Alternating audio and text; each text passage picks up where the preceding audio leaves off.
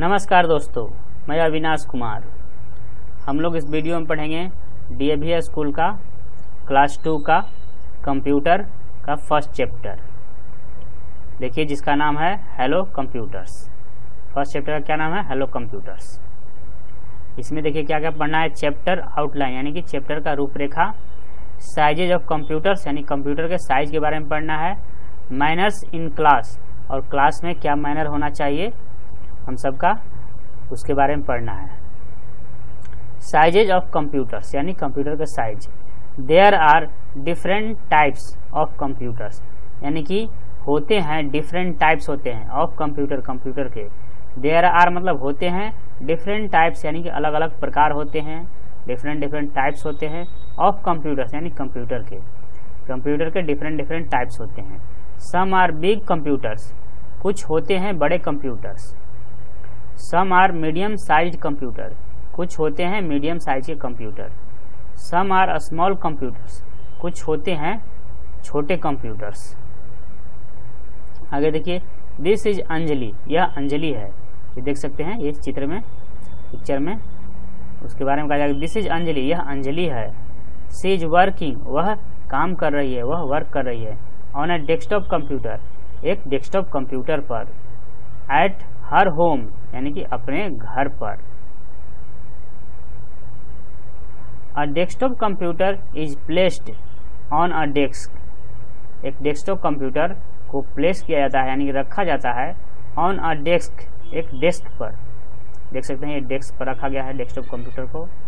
A desktop computer is also called a personal computer और PC एक desktop computer को भी कहा जाता है एक पर्सनल कंप्यूटर एक डेस्कटॉप कंप्यूटर को एक पर्सनल कंप्यूटर भी कहा जाता है और पीसी कहा जाता है शॉर्टकट में पीसी पीसी यानी कि पी से पर्सनल और सी से कंप्यूटर पर्सनल कंप्यूटर शॉर्टकट में पीसी कहा जाता है। नॉलेज की द फ़र्स्ट डेस्कटॉप और पीसी पहला डेस्कटॉप या PC called Altair was invented मतलब पहला डेस्कटॉप या पीसी कह सकते हैं पर्सनल कंप्यूटर कार्ड जिसको कहा गया अल्टेयर।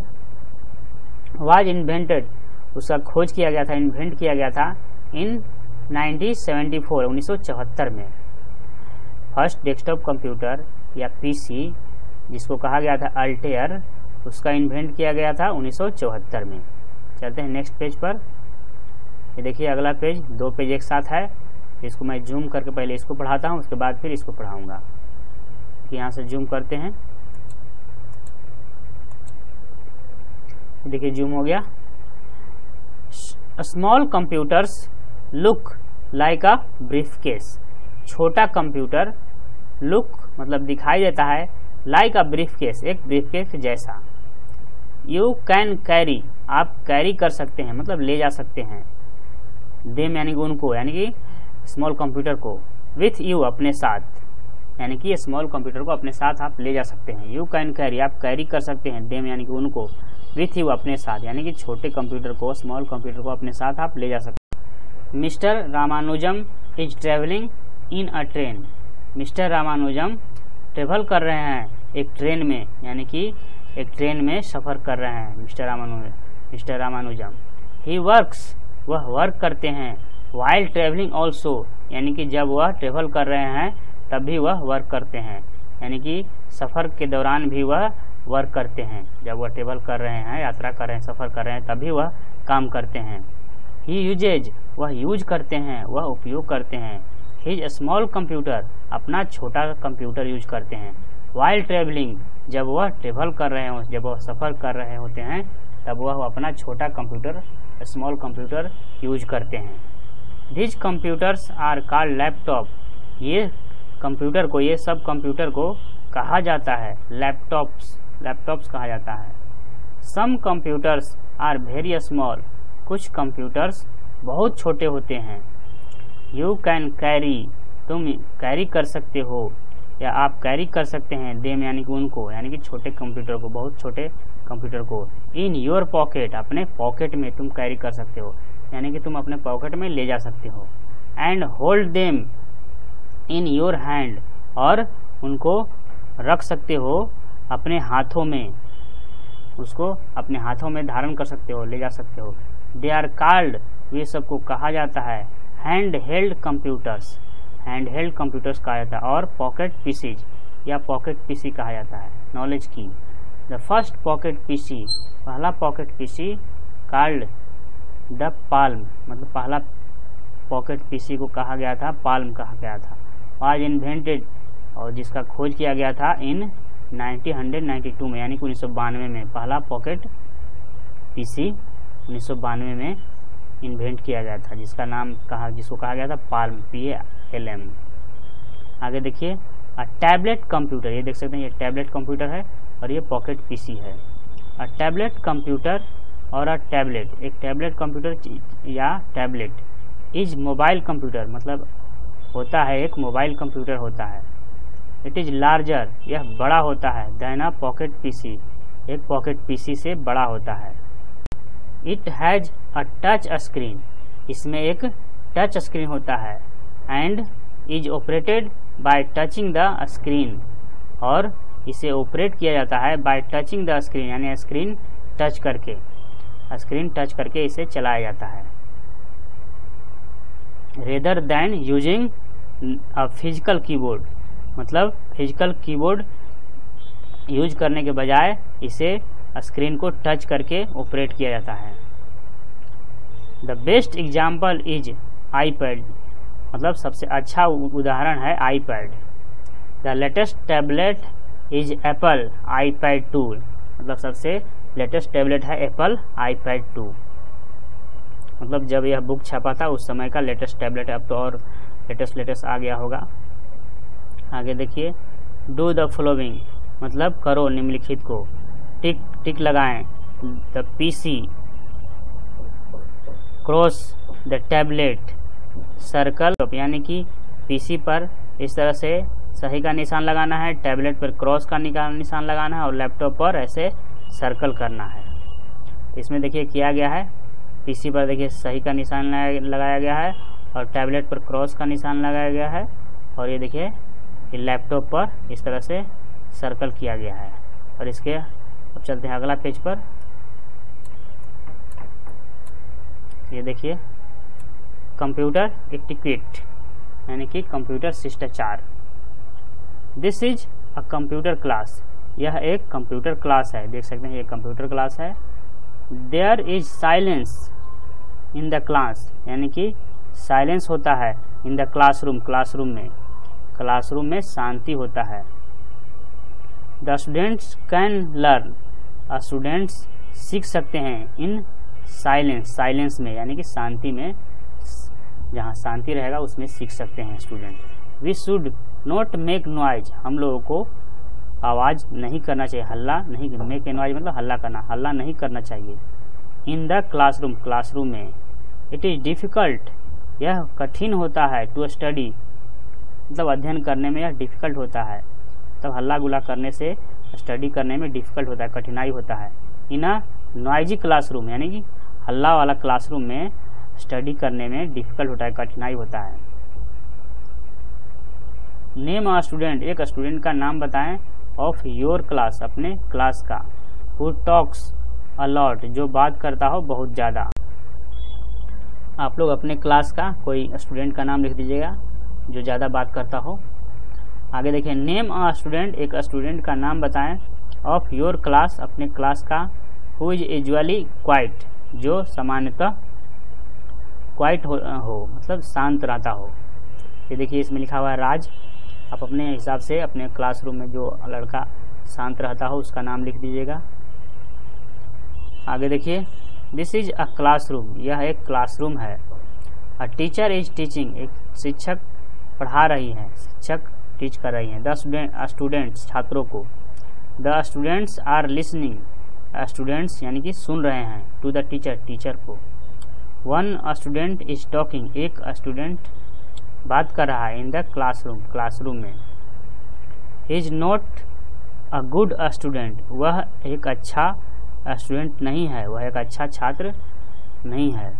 ही शुड लिसन उसे सुनना चाहिए। टू द टीचर टीचर को केयरफुली ध्यानपूर्वक केयरफुली सुनना चाहिए। स्टूडेंट्स हु लिसन छात्र, यानी कि स्टूडेंट्स जो सुनते हैं टू देयर टीचर अपने टीचर को, अपने शिक्षक को लर्न मोर मतलब सीखते हैं ज़्यादा। जो स्टूडेंट्स टीचर अपने टीचर को सुनते हैं, वो सीखते हैं ज़्यादा ज़्यादा सीखते हैं। दिस इज़ सुधीर यह सुधीर है। ही ऑलवेज टॉक वह हमेशा बात करता है। वेन द टीचर टीचेज जब शिक्षक टीच करती है, पढ़ाती है तो वह हमेशा बात करता है। The teacher ask him a question teacher पूछती है, उससे एक क्वेश्चन एक क्वेश्चन पूछती है। Do you think he knows the answer क्या तुमको लगता है कि ही नोज़ द आंसर वह जानता है आंसर यस या नो तो यहाँ पर होगा नो क्योंकि वह हमेशा, जब टीचर पढ़ाती है तो वह हमेशा बात करता है तो वह आंसर नहीं बता सकता है। होगा। चलते हैं नेक्स्ट पेज पर।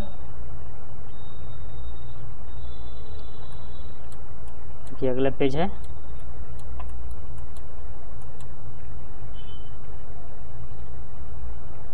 लुक एट दिज स्टूडेंट्स देखो, ये सब स्टूडेंट्स को, ये सब स्टूडेंट को देखो। दे आर गोइंग वे जा रहे हैं to the computer room computer room में।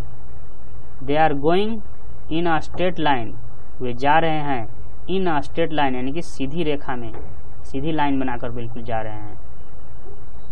दे आर गुड स्टूडेंट्स वे अच्छे स्टूडेंट्स हैं। Good students walk in line अच्छे स्टूडेंट्स वॉक यानी चलते हैं इन लाइन लाइन में चलते हैं। This is a computer class यह एक कंप्यूटर क्लास है। The students are working students work कर रहे हैं, यानी काम कर रहे हैं। संदीप इज़ रनिंग संदीप दौड़ रहा है। In the computer room computer room में ये देखिए संदीप है, ये दौड़ रहा है कंप्यूटर रूम में।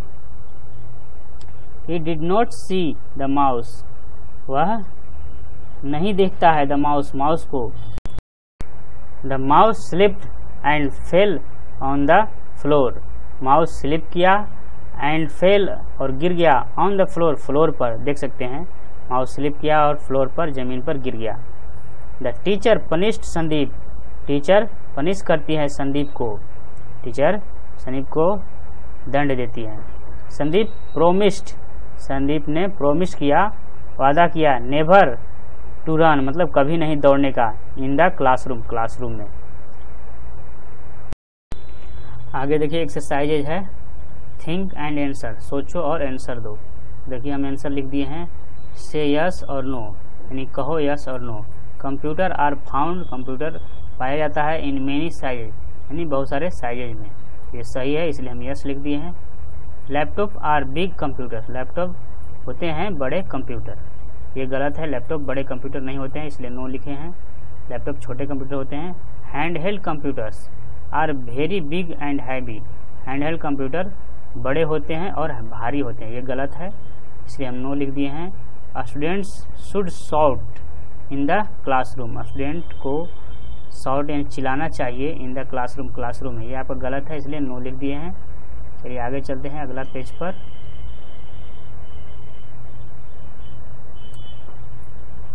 ये देखिए नेक्स्ट पेज फाइव नंबर है. इट इज़ ईजी यह आसान है. टू स्टडी अध्ययन करना, पढ़ना. In a noisy class noisy class में यानी हल्ला वाला क्लास में, हल्ला गुला जहाँ हो रहा हो, उस क्लास में पढ़ना आसान है. तो ये गलत है, इसलिए नो लिखे हैं. स्टूडेंट्स डू वेल स्टूडेंट्स करते हैं अच्छा. इफ़ दे लिसन यदि वे सुनते हैं टू देयर टीचर अपने टीचर को. तो ये सही है, इसलिए यस लिख दिए हैं. अगला क्वेश्चन देखिए. क्वेश्चन नंबर बी फिल यानी कि भरे. इन द ब्लैंक्स यानी कि खाली स्थान में. विथ द करेक्ट वर्ड्स यानी सही वर्ड्स से भरना है इसमें। देखिए इसमें, पहले से भर दिए हैं, इसको समझा देते हैं।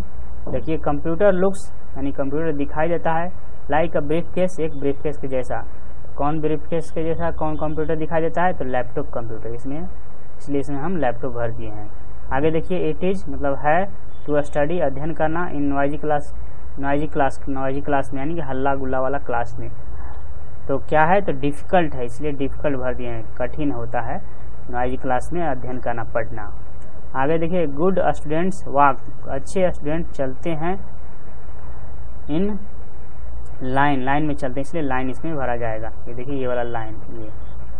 आगे देखिए स्टूडेंट्स हु लिसन वो सब छात्र जो सुनते हैं टू देयर टीचर अपने टीचर को लर्न सीखते हैं। क्या सीखते हैं? तो मोर सीखते हैं, ज़्यादा सीखते हैं। इसलिए इसमें ये वाला देखिए मोर इसमें भर दिए हैं। क्लीनिंग द कंप्यूटर्स यानी कंप्यूटर्स को साफ़ करना किप्स रखता है इट इसे डस्ट फ्री रखता है, ये वाला फ्री इसमें भर दिया गया है इसके। आगे देखिए question number C match the column यानी कॉलम को मिलाएँ। फ़र्स्ट देखिए लुक्स दिखाई देता है लाइक अ ब्रीफ केस एक ब्रीफ केस के जैसा। तो इसमें क्या होगा? लैपटॉप फ़र्स्ट का क्या होगा? सी इसमें आपका ये मिला दीजिएगा। कैरिड इन हैंड मतलब हाथ में कैरी कर सकते हैं किसको? तो हैंड हेल्ड कंप्यूटर को। सेकंड क्या होगा? सेकंड का डी होगा। हैंड हेल्ड कंप्यूटर को हम लोग हाथ में कैरी कर सकते हैं। हैज़ नो कीबोर्ड यानी कि होता है कोई कीबोर्ड नहीं होता है। किसके पास कोई कीबोर्ड नहीं होता है? तो आपका टैबलेट में कीबोर्ड नहीं होता है। वो आपका टच उसके स्क्रीन पर स्क्रीन कीबोर्ड खोल करके टच करके हम लोग यूज़ करते हैं। तो तीसरा क्या होगा? A fourth number first pocket PC ये आपका ये होगा फोर्थ का बी पाल्म पहला पा पॉकेट पीसी क्या था? पाल्म इस तरह से देखिए समाप्त हो गया। इसका एक्सरसाइज यानी कि चैप्टर भी समाप्त हो गया। प्रैक्टिकल प्रैक्टिस दिया गया है। यानी कि प्रैक्टिकल करिएगा, जिससे आपको प्रैक्टिस होगा। Check out the various types of computer यानी कि अनेक प्रकार के कंप्यूटर के प्रकार को चेकआउट करें। लाइफ स्किल में देखिए क्या दिया गया है। नेवर टॉक कभी भी बात ना करें इन द क्लासरूम क्लासरूम में। और या you will not to be able to learn या आप सक्षम नहीं होंगे टू लर्न सीखने में। And it will disturb the class और यह इससे क्या होगा? क्लास डिस्टर्ब होगा। नेवर रन कभी भी दौड़े नहीं। In the computer room computer room में else you can break something नहीं तो आप क्या करेंगे? ब्रेक तोड़ देंगे कुछ चीज़। टीचर के लिए क्या नोट है? देखिए। Show different types of computers to students यानी कि दिखाएँ अलग अलग प्रकार के कंप्यूटर के प्रकार को अलग अलग प्रकार के कंप्यूटर को दिखाएँ टू स्टूडेंट छात्रों को। ये टीचर के लिए है। ऑल्सो टेल देम और ये भी बताएँ उनको, कहें उनसे the importance of discipline discipline का मतलब क्या इम्पोर्टेंस है, उसके बारे में उन सबको बताएँ, कहें। तो इस तरह से चैप्टर आपका समाप्त हो गया। चलिए मिलते हैं अगले वीडियो में एक नया चैप्टर के साथ। अगला चैप्टर हम लोग पढ़ेंगे। वीडियो देखने के लिए थैंक यू